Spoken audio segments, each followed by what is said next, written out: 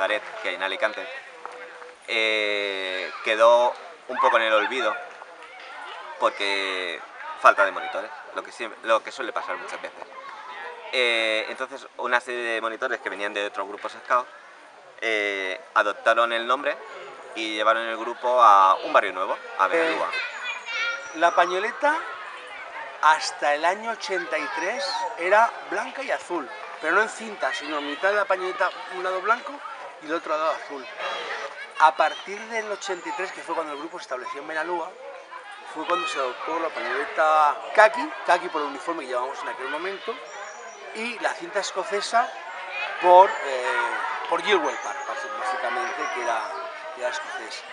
En un principio la cinta escocesa era con color predominantemente verde para la tropa y eh, luego se adoptó otra con color predominantemente rojo para el clan, de manera que la propia pañoleta indicaba en qué sección estaba uno, separando tropa y, clan.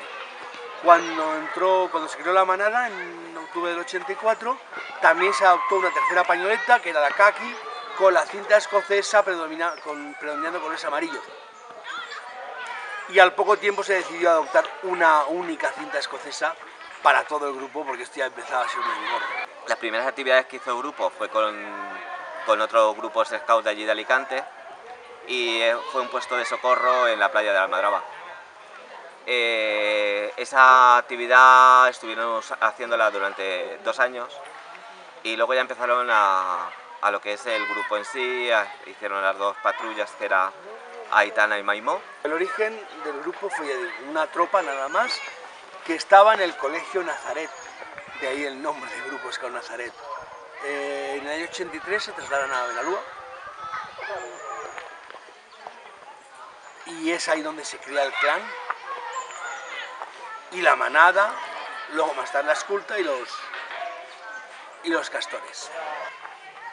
el clan, que luego ya pusieron nombre, Clan Everest, y durante dos rondas o tres rondas estuvimos solo con eso, con clan y, tropa, y cuando ya desde el clan se hizo un proyecto de crear la manada, El clan se creó en el año 83 y a partir del clan se siguieron creando más, más secciones. La primera fue en octubre del 84, la, Manada, es un proyecto en principio de, de Ricardo y mío. eh, la tropa se reestructuró, se formó la tropa Concagua, la manada Flor Roja y, y a partir de ahí ya empezamos lo que era la nueva estructura de grupo.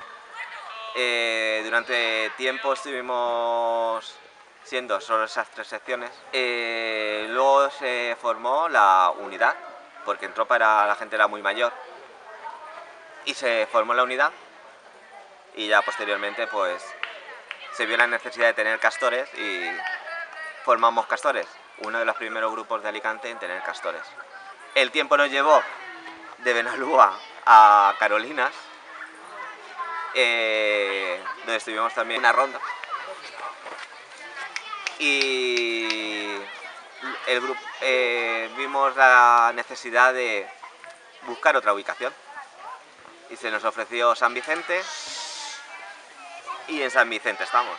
Eh, y el futuro del grupo, pues, parece prometedor. prometedor.